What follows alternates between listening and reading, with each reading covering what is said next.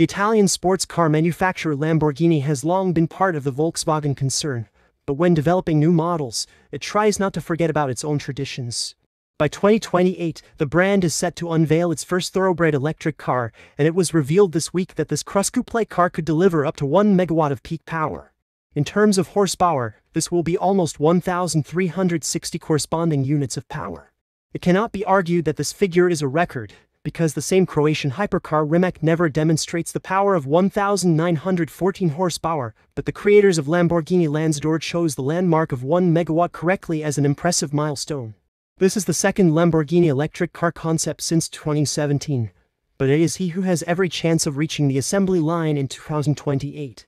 Based on its silhouette, the 1MW machine tries to combine the properties of a crossover and a G-Class coupe, offering a 2 plus 2 seating formula while maintaining the ability to increase the volume of the luggage compartment by folding the rear seats. Under the hood, there was also a place to store things a set of branded bags specially designed for the model should be placed in a small compartment. Technical details about Lanzador, in addition to the peak power of 1,360 horsepower, Lamborghini gives almost no. The drive, of course, will be complete. And it was only known that many sensors, some of which will be located behind special glass panels in the front of the body, will be used not only by electronic driver assistance systems, but also to automatically adjust the chassis for specific road conditions. The air suspension in combination with the thrusters of the rear axle will allow you to flexibly adjust the chassis and provide handling appropriate for the brand product even in the presence of an atypically high ground clearance.